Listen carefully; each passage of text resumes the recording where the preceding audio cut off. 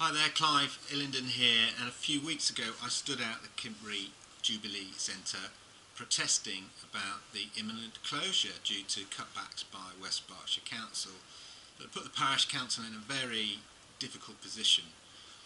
But uh, the people were cross about this, they rallied round, a proposal was put together, and that proposal has now been officially accepted by the Kintbury Parish Council and the trustees, and the Kintbury Jubilee Centre lives on with the help of a crack team of volunteers who will be keeping this leisure centre open for your benefit.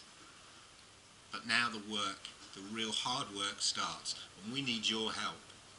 If you want this to continue to be an important part of the community, offering exercise classes, offering you know little buddies for preschool kids, um, little pumas, badminton, whatever it is, if you want these parties, if you want to help support this valuable asset to the community, keep it alive, help support those volunteers that are running it, one of which is mine, then we'd really appreciate your help.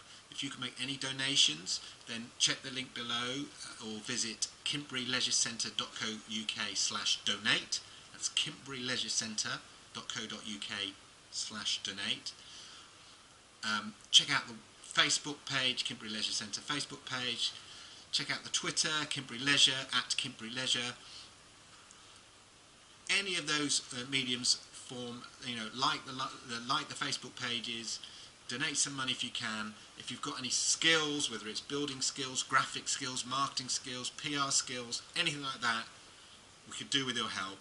Please support this really important um, bit of the community.